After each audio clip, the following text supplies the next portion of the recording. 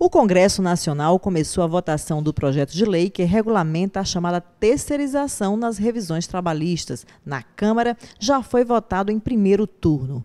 Flexibilização ou retrocesso nas leis trabalhistas. A conciliadora federal é especialista em direito do trabalho e processo do trabalho. Esse projeto ele vem a ser uma prática predatória no que tange aos contratos trabalhistas dos terceirizados, principalmente porque essa é uma prática que visa, se caso seja aprovada pela presidenta, vai ocasionar uma, uma, maior prática de fraudes trabalhistas, menos carteiras de trabalhos assinadas, maiores acidentes de trabalhos, uma maior rotatividade no trabalho, e essa maior rotatividade no trabalho vai dar ensejo a quê? A prática que não é habitual no direito do trabalho, que é a continuidade da prestação de serviços.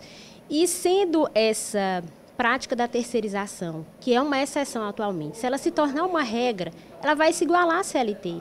E ela se igualando à CLT, vai se permitir a prática de, da terceirização em atividades fins, o que atualmente não é algo permitido. Como assim atividades fins? Por exemplo, a administração pública ela pode terceirizar os serviços de limpeza, de conservação, mas não pode terceirizar a sua atividade fim, qual seja, que é a administração, a justiça.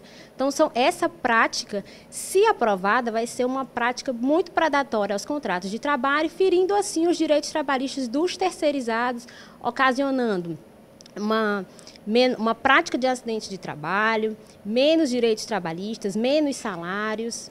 Ouvimos também dois deputados federais piauienses sobre o tema. O deputado federal Júlio César, do PSD, votou a favor da terceirização. Eu votei a favor. E tenho uns argumentos suficientes para votar a favor. Por quê? O Brasil, nós temos 12 milhões de terceirizados. E houve um, uma ação no STJ que perdeu e houve um recurso para o Supremo. Lá no Supremo, já está perdendo por seis votos a zero contra a terceirização existente agora. Então, se cair, esses 12 milhões de empregados poderão ficar desempregados. Já o deputado Merlong Solano, do PT, votou contra a terceirização. Votei contra o regime de urgência, votei contra a aprovação do texto base, por considerar que a matéria é muito complexa. De um lado, é necessário regularizar o trabalho terceirizado, porque já são mais de 12 milhões de trabalhadores é, que têm contratos com empresas de terceirização. Então, é uma questão importante que precisa ser regulamentada. De outro lado, é preciso fazer essa regulamentação sem cair no risco de precarizar as relações de trabalho. O Brasil é uma sociedade extremamente desigual. Uma das principais marcas da nossa sociedade é a extrema concentração de renda.